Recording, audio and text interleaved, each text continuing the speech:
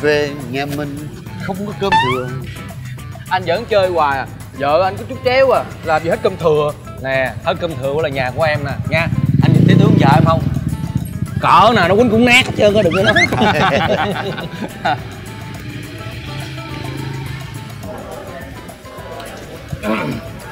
Hôm nay chúng ta đã được nhậu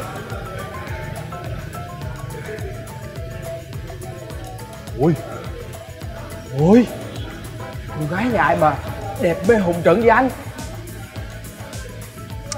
Dễ thương quá.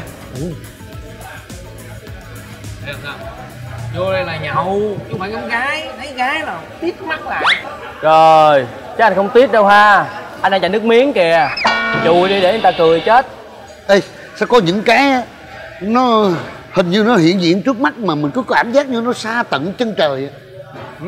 trên đời sao có những cái để sanh ra con người ta sanh ra để cho nhìn ngắm thôi hả? Chứ không làm gì được hết hả? Anh muốn chạm phải không? ờ Tới làm quen với người ta đi. Được không? Được không? Được. À. Bây giờ mình kêu đồ trước đi. Em ơi. Em ơi em ơi ra đây ra đây?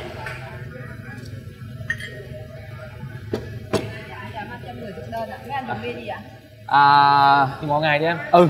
Như mọi cũ ngày đi. mọi ngày nha. Như cũ. Bây giờ nè Sao anh? bây giờ anh với chú nè mình à, chơi với nhau một ván đi. Chơi gì của em nữa, cho, cho em chơi với, chơi thì bây giờ tham gia luôn nè. À. bây giờ trong cái cô bé đó Ờ. ai mà lại mà làm quen được á thì coi như là người đó thắng.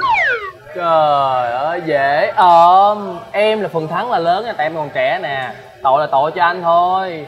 Anh già nhất hội đó. Thôi thôi thôi đi. Mày lúc nào cũng vậy. Bởi trẻ người non già. Người Không non nghe ông bà nói một câu là gì không Gừng càng già càng cay. Đừng có khinh địch nha. Ừ. Thì anh hoài. Thì anh là gừng em là ớt. Rồi bây giờ sao? Bây giờ anh thách đấu cái gì? Thách đấu cái gì đơn giản thôi. Bây giờ ai thắng hiểu không? Ừ. ai mà thắng được thuyết phục được nói chuyện được cô bé đó Ừ. thì coi như là uống một chầu bia đây miễn phí. Em nghĩ là mình nên nâng cái giá thành lên lên nâng cái giá thành Một lên. tuần luôn đi. Trời. Một tuần lễ được uống miễn phí. Sao? Chơi luôn. Rồi chơi luôn chơi Rồi chơi. em Xuân Phong đi trước. Rồi xung phong đi trước đi. Lạnh ghê không